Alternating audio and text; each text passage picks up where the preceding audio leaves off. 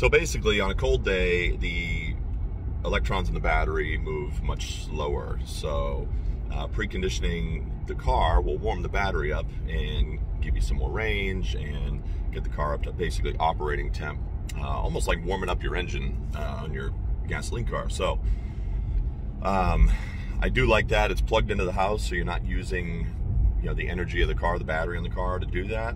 Uh, which you would be doing if you're obviously remote.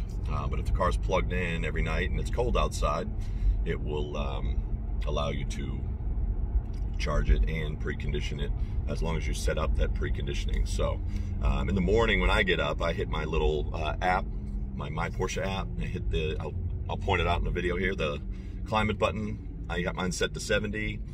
Um, I get out in the car instead of the battery being like whatever the temperature is, 35 degrees or something. It's it's more like a 57, 58, whatever.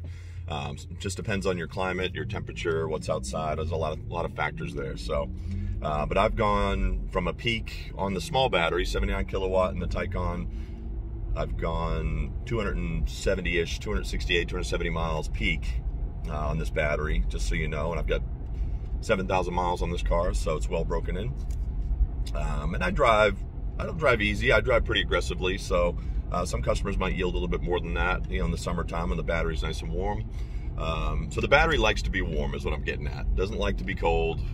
Um, it is one of those things where in the wintertime you're going to have a significant decrease in range. Um, mine has been averaging about, normally, like I said, it's between, it's about 250 on average for me. And I'm getting like a 209, sometimes 220 um, when it's cold outside. It really just depends on that temperature and obviously using a lot of heat to warm the car up as well. So a lot of energy is being used and that's why your battery is not enjoying that, uh, not giving you that extra range. So any electric car is going to be the same way. Um, like I said, the pre preconditioning it, which is just basically turning it on at a specific time, will help um, get you set up. So um, help that battery warm up and help it work a lot better. So uh, just a little tip and uh, thank you so much for watching. Derek at Harper Porsche. Currently